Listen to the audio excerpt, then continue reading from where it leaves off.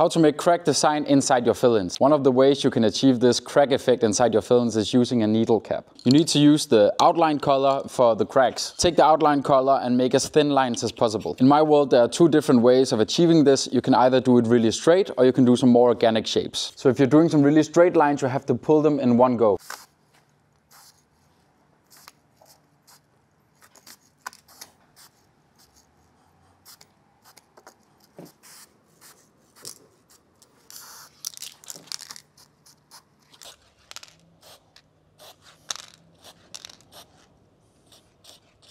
So making this crack effect is a lot about making it look natural. Where have the letter actually cracked? So for instance here, you can see it's almost like it's gotten a punch here and it's gotten a punch here. Try to start with one line that are going through the entire letter and then build from there. I think this is an appropriate amount of cracks in this letter, but I'll try to over exaggerate it so you can see what kind of effect it can also have.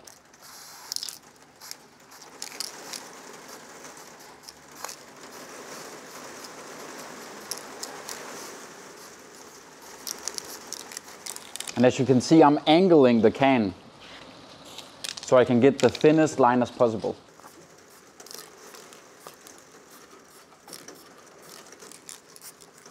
And it's about breaking up the pattern. Don't do parallel lines, you have to make them look very natural.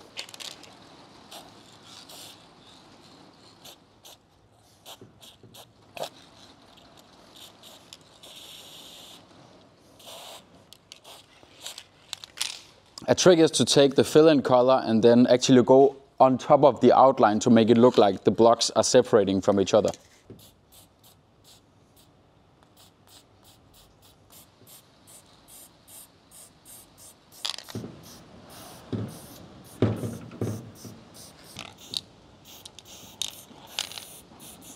Take the outline color and then pull the new outline accordingly.